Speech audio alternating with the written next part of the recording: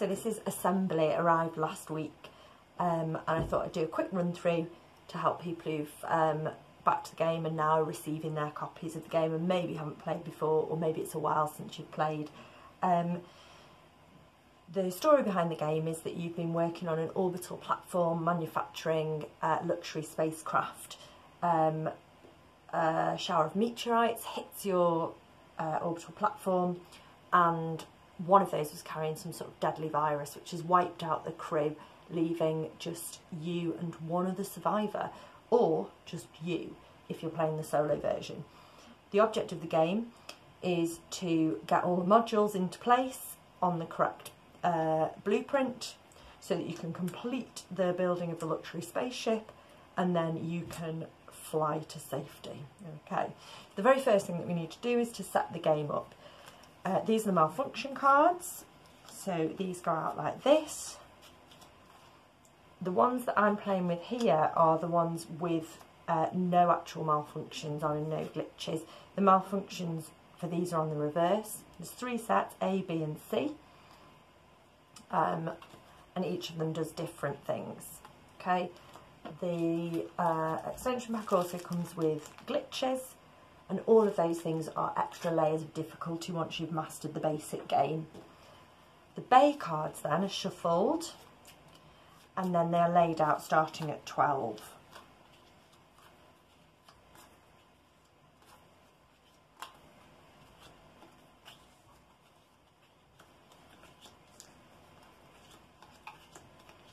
Then you put the modules in two piles in the middle and you start by rolling the dice, the die I should say, and placing one of those modules on a card. So you can see that the transporter one is on the engineering blueprint. The way that we get those into the correct place is by using our command cards. And you've got um, a range of commands. You've got rotate, anti-clockwise or clockwise.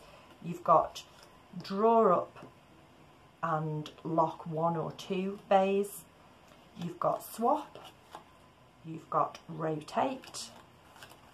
And then you've got rotate the opposite way. Okay, and they're your commands. You've got three rounds to complete the building and to escape. At the end of the first round, you shuffle that card in. At the end of the second round, you shuffle the wild card in. That enables you to do one action, but it's got another function as well, which I'll explain to you just now.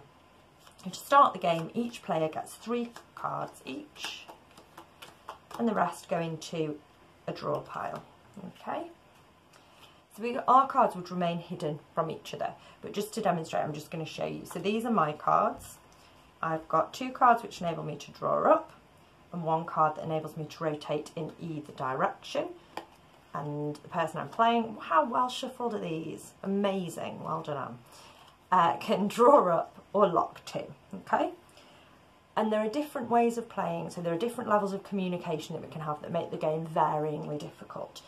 The first level of communication allows you to discuss strategy broadly, but not use any of the key words that are on the uh, commands cards, so such as deploy, lock, swap or rotate. So we could have broad discussions about strategy, but as soon as we use any of those words, the computer would lock down our communication and that would be it for that round. We wouldn't be able to discuss any further.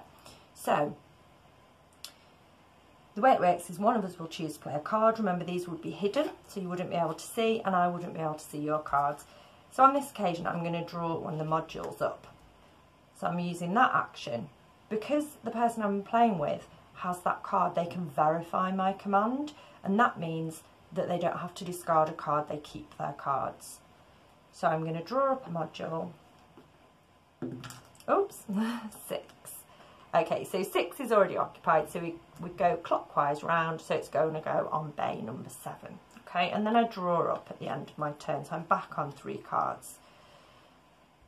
This player is going to do the same action because there's nothing to lock because they're not in the correct places. So they're going to get a three. Ah, now that's on security, so that's good. So for my turn, I'm going to lock that one just to demonstrate how that works. So I can lock one or two. I'm just going to lock one. They're able to verify that, so that's fine.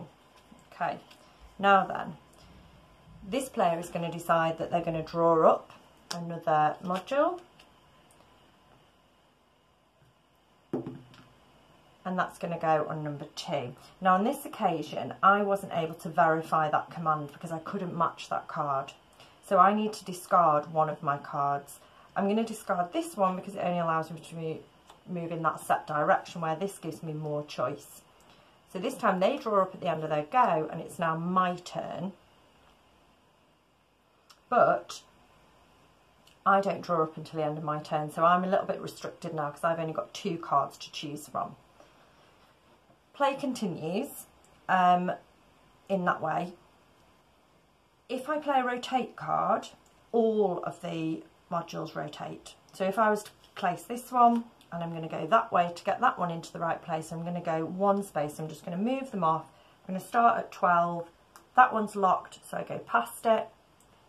This one goes into the correct space and this one goes here. Okay, so you just need to remember that they all move. And then at the end of my go, I would draw up two. Okay, so that continues until we get to the end. Here, look. When you draw up and there are no more cards to refresh your hand, then that round ends.